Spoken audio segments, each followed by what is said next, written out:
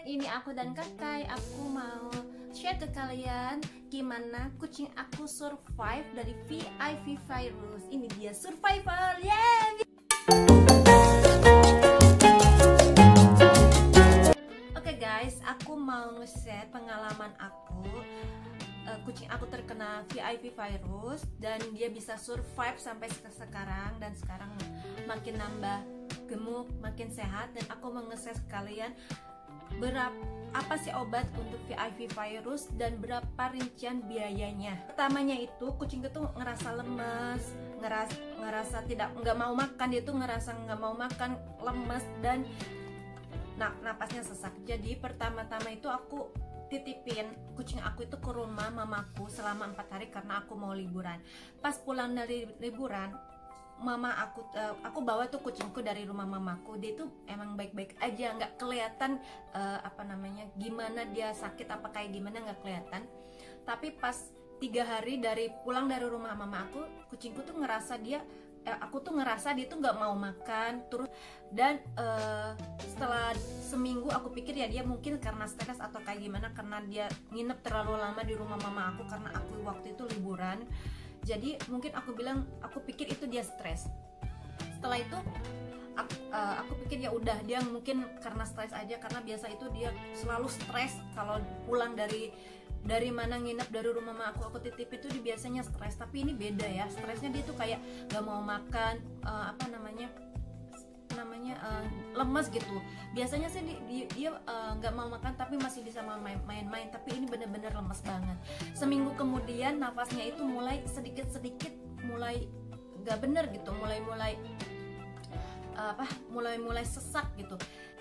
Setelah itu aku bawa dia ke klinik yang biasa ke klinik yang biasa. Terus aku minta dokternya untuk diperiksa uh, apa namanya darahnya kan dok gimana ini?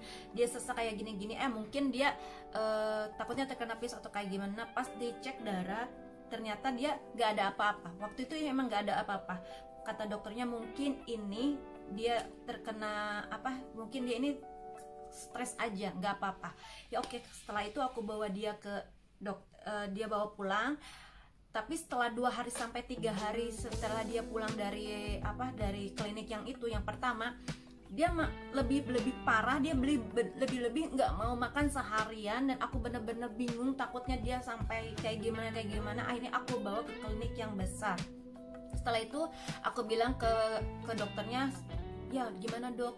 Dia udah dibawa ke klinik dan di apa aku bawa apa surat apa namanya bukti bukti dia udah pernah di check up darah eh di tes darah tes darahnya dilihat dan kata dokternya yuk kita cek darah lagi dan kita ekstra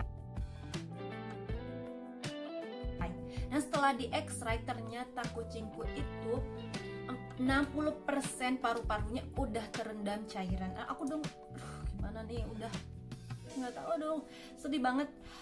Kata dokternya biasanya ini mungkin terkena VIP virus jadi kita cek darah dan lain-lain. Itu dicek darah dua kali dan di excise satu kali. Dokternya nyaranin aku untuk dioperasi dikeluarin cairannya. Tapi aku bilang ya dok gimana? Emang gak ada cara lain selain ini?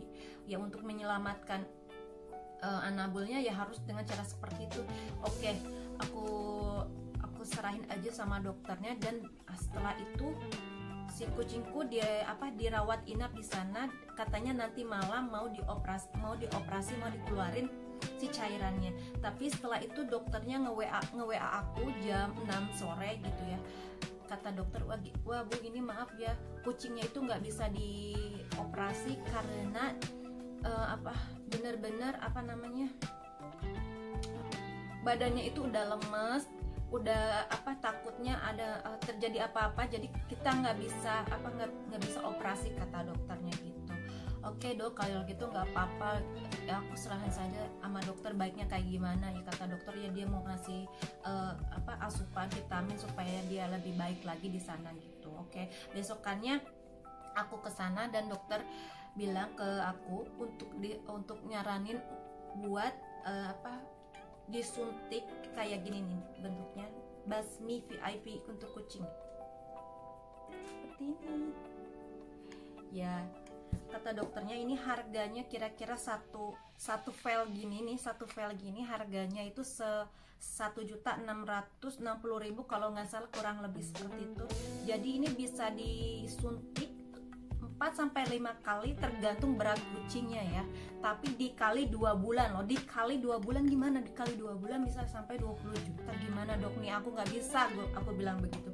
Kata dokter, coba dulu aja satu atau dua file dulu. Kalau setelah itu kamu bisa lihat gimana perkembangan kucingnya bisa dituruskan kan atau lebih membaik kah atau masih sama saja.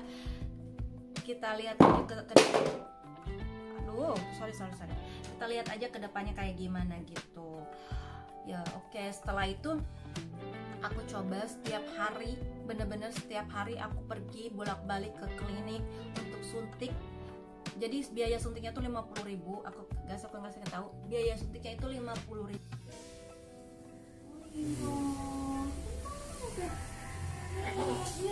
Aduh, aduh, aduh.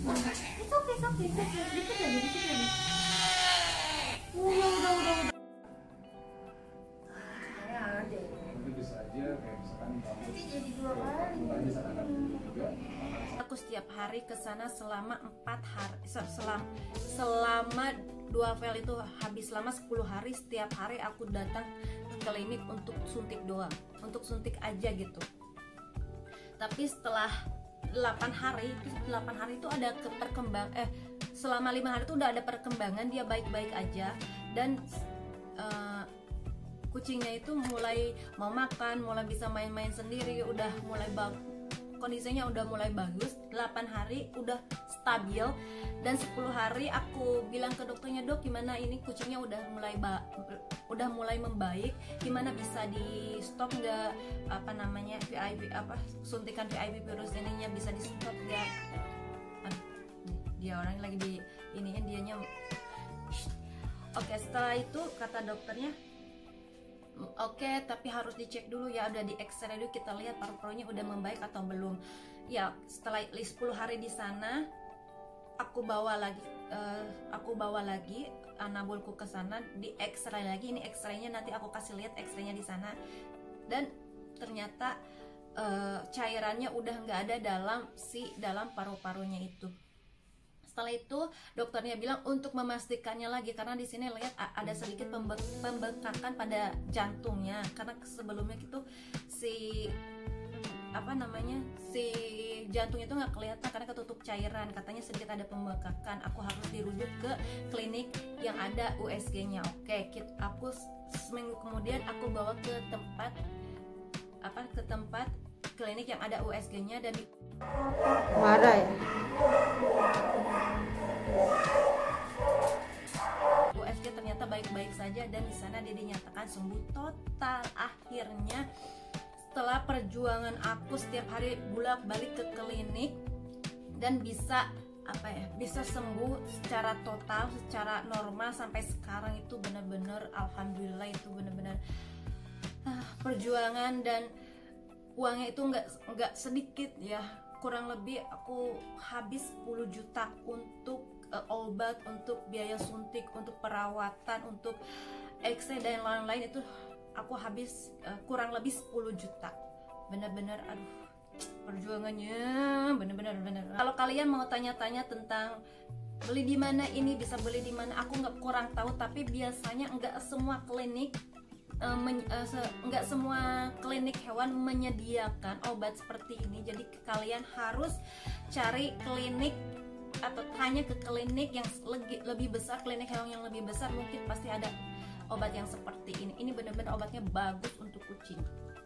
Aku nggak tahu tapi di kucingku itu bekerja banget cuman butuh waktu 10 hari untuk bisa survive dari VIP virus gitu. Oke? okay?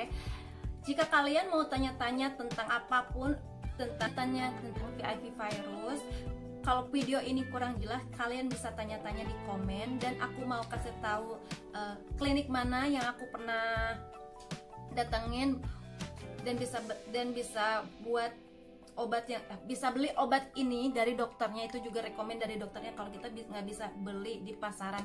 Jadi aku mau kasih tahu di deskripsi box deskripsi box aduh ngomongin susah di description box jadi kalian bisa tanya atau mau tanya apa pun di komen aku pasti akan jawab. Oke. Oke, sekian dari aku. Thank you for watching my video. See you next time.